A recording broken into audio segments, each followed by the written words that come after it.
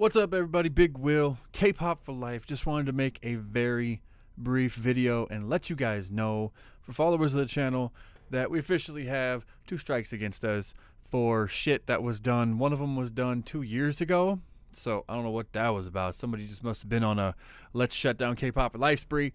And another one from back in September of 2019 for uh, some live stage that was like eight seconds of it in a video. I don't know. Either way because YouTube sucks. I can fight them, but then I could get sued. So I'm just a dude with no money. it's not going to happen. So uh, if I get another copy strike, the, video channel will be taken down, and, and there will be much rejoicing in the K-pop world. Um, but uh, I just want to let you know that if it does happen, and you're like, "What the fuck? Where did Big Will go? Where did Big Paul go? Where the hell is my K-pop for life?" It's gone. Um, but all the videos are over on BitChute. So you can go to K-pop for life at BitChute. I've had it open for years. I've just never said mentioned it in a video, but I am on BitChute. So you can go follow me on BitChute. If you don't know what BitChute is, it's a YouTube clone.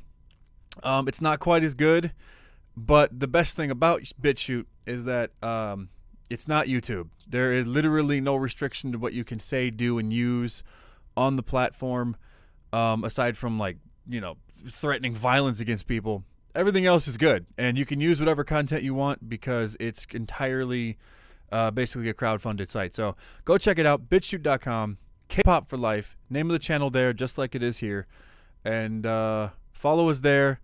And all the videos are backed up there. So everything uploads here, uploads there, and I think eventually I'll start uploading videos specifically for BitChute to you know help grow there, since I'm probably going to get deleted off of YouTube at some point. So, uh, thanks for watching, and uh, hope to see you on BitChute.